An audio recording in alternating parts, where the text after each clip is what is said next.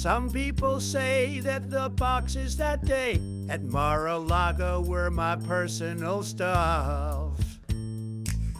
And even if there were files inside, I declassified them with my mind. Some people say that the whole DOJ is now a giant Merrick Garland witch hunt. It's very clear that they've been weaponized, and it seems I'm unfairly maligned.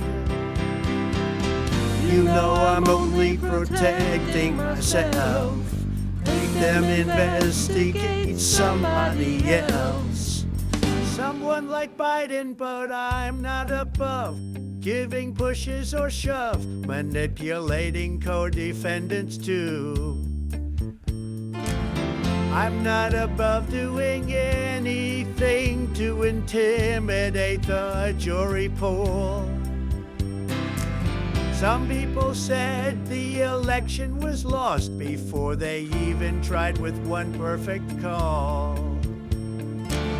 You know I'm not going to testify, although I am an innocent man.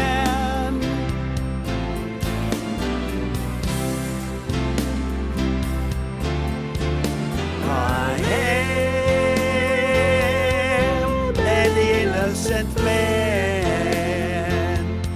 Oh, yes, I